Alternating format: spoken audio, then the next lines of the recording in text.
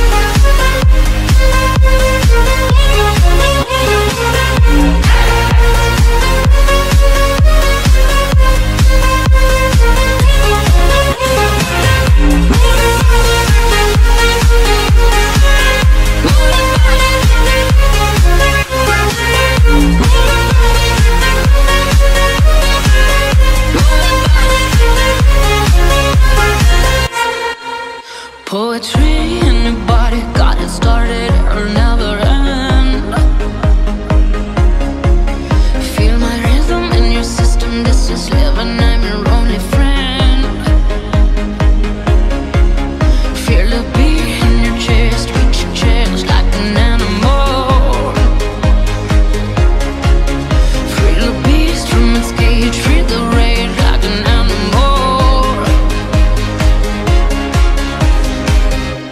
Your body's.